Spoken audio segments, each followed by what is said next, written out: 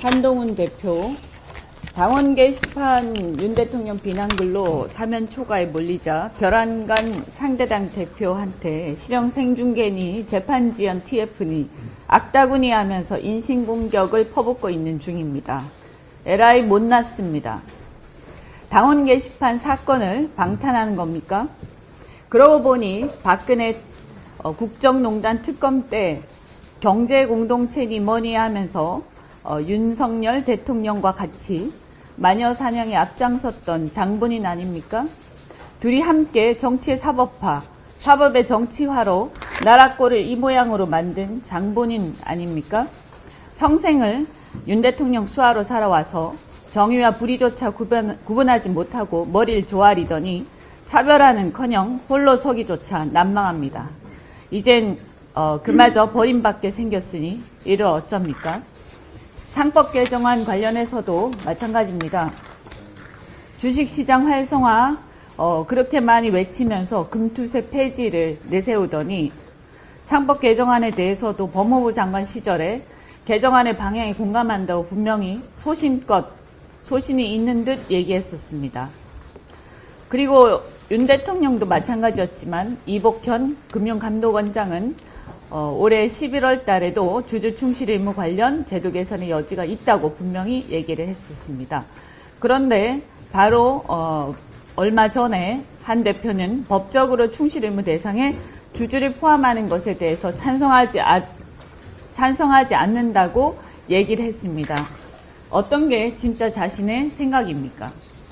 얼마 전에 여당의 정책위 의장이 어, 업계의 부담을 고려해서 상법 개정 대신 자본시장법 개정을 제안했었습니다.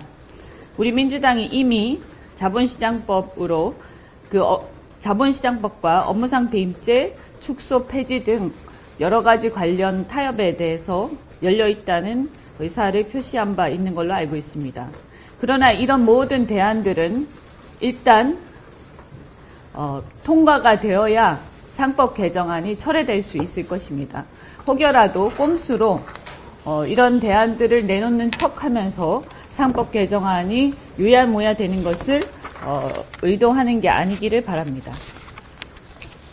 북한군의 러시아 파병 및 러시아의 핵교리 개정 등 러시아 우크라이나 전쟁이 걷잡을 수 없는 양상으로 치닫고 있습니다. 각종 신형 무기의 가축장이 되고 있고 미국과 영국이 그동안 금기였던 중장거리 미사일의 러시아 본토 사용을 승인하고 바이든 미국 대통령은 우크라이나의 대인질의 공급을 승인하는 등 전쟁은 이제 양국을 넘어서 국제전으로 확대될 수 있는 확전될 수 있는 위태로운 기로에 서 있습니다. 이 일촉즉발의 위기에 대한 우려가 전 세계적으로 확산되면서 국제전으로의 확전을 막고 전쟁을 끝내야 한다는 논의와 함께 전쟁의 빠른 종식을 원하는 목소리가 높아지고 있고 전쟁의 조기 종식을 공약했던 트럼프의 미국 대선 당선으로 인해서 그 기대감은 더욱 높아지고 있습니다. 어, 우리 정부는 그런데 이런 가운데 우크라이나의 살상 무기를 지원할 가능성을 시사하고 있어서 우크라이나 전의 불똥이 한반도로 튈 위험에 대한 국민적 우려가 커지고 있습니다. 이미 트럼프 2기의 안보 보좌관으로 지명된 마이클 월츠도 한국 개입과 확전 우려를 표시한 바가 있습니다.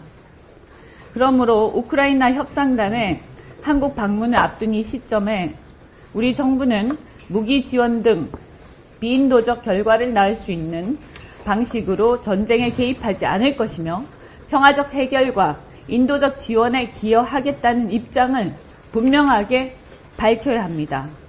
국민의 생명, 안전, 재산을 보호하는 것이 정부의 가장 큰 헌법상의 책무라고 생각합니다. 이에 저는 그러한 내용을 골자로 하는 국회 결의안을 마련해서 발의를 하겠습니다.